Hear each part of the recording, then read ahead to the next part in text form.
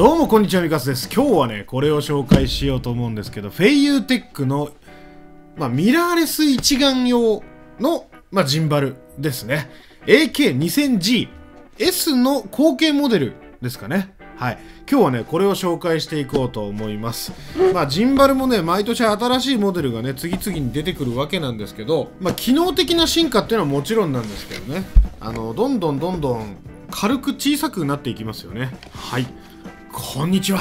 どう出た。えー、前回に引き続き、木目がついた本体になっております。さて説明書ね。もう最近のね、こう、ジンバルはカメラとこう、つなげて、でジンバルでカメラが制御できるっていうのがもう当たり前になってきましたね、まあ、このようにいろんなタイプのね、えー、線がついてきます。であとは、えー、三脚ね。三脚がねごついのがついて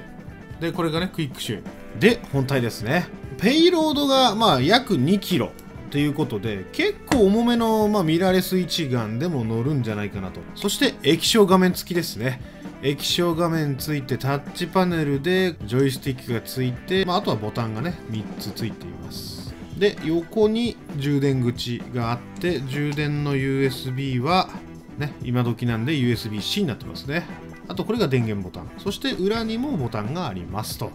では早速今回ははい、えー、GH5S 載せてみましょうか。でこれレンズがちょっと大きいやつがついてるんですけどまあ重さ的には全然問題ないレベルですね。で裏の三脚穴が2種類ついてましたね。はい、えー、じゃあカメラにクイックシューをつけてと。でジンバルのモーターのところにこのロックがねちゃんとついてますんで、まあ、ロックを解除してと。クイックシューはかなり重心に合わせて大きく動くようになってます。で、えー、ジンバル本体にま固定していくわけなんですけどはいこんな感じですね。今バランス取れてないのでこれで、えー、いろいろねこの調整できるところを全部を動かしてまあ重量バランスを取ってあげると。じゃあちょっとパパッとバランス取っちゃいますね。はいということでねバランス完了しました。まあ、ジンバル使ったことない人のために一応説明しておくとですねどういう風にバランス取ればいいかっていうと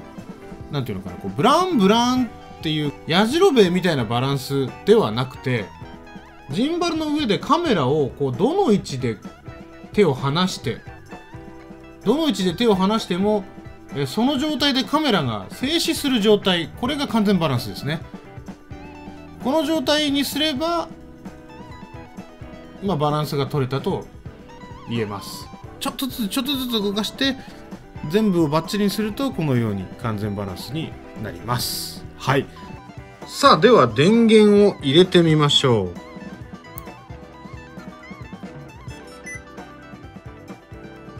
はい、えー、動きました。で、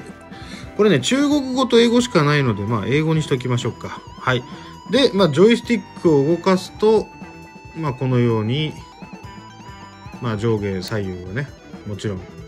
動くわけなんですけども、スワイプすると、いろいろ設定が出てきますので、今のがインスペクションモード。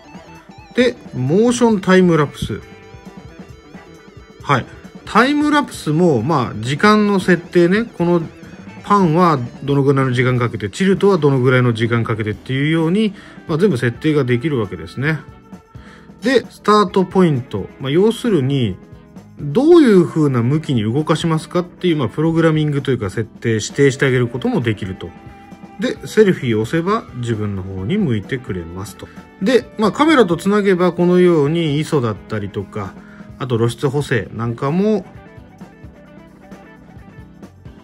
まあ、カメラを触らないで直接ジンバルで調整してあげることができるわけですね。で、これはホワイトバランス、今、オートになってますけど、まあ、ここの設定画面から出してあげることもできるわけですね。はい。で、ペイロードセッティング。はい。自動でカメラの重さを、まあ、テストしてやってくれるっていうモードもあるわけですね今どういうぐらいの力だとブルブルしちゃうかなとかジンバルがこれ測って調べてるわけですねコンプリートできたそうするとまあこんなような設定になりましたと。でシューティングモード。これスムースモードが個人的にはすごく好きなんですけどまあノーマルスムーズアクション素早くね。あとカスタマイズもできると。でちなみにカスタマイズすると、まあ、このようにねスピードを、まあ、変更したりっていうこともできるようになっております。ではちょっと実際に外持ってって撮影してみましょうか。さあではちょっと風強いんですけど電源オン。はいこんな感じでございますよ。では早速撮影していこうと思うんですけどまずはちょっと今海にいるので、えー、うちのねジムニー。ジムニーが走ってるのをちょっとジンバルで追っかけて撮ってみたりしてみたりしてみようと思います。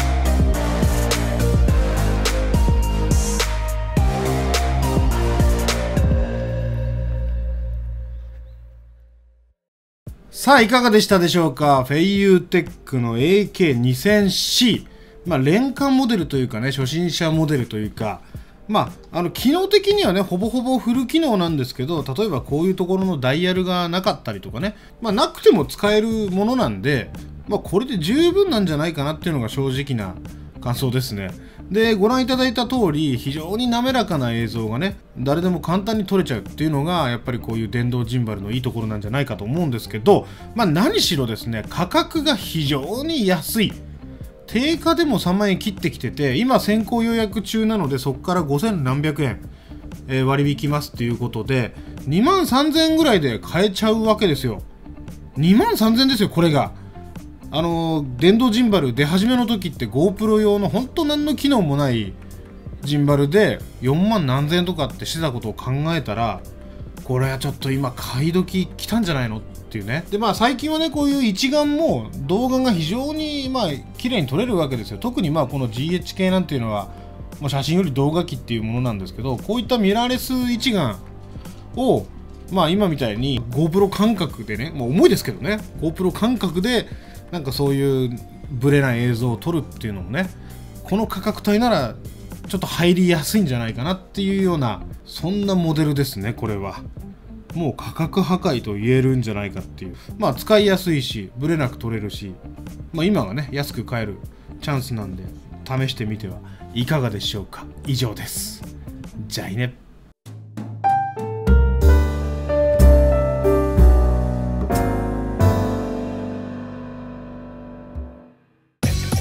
さあいかがだったでしょうか？もしよかったらねこっちの方登録お願いします。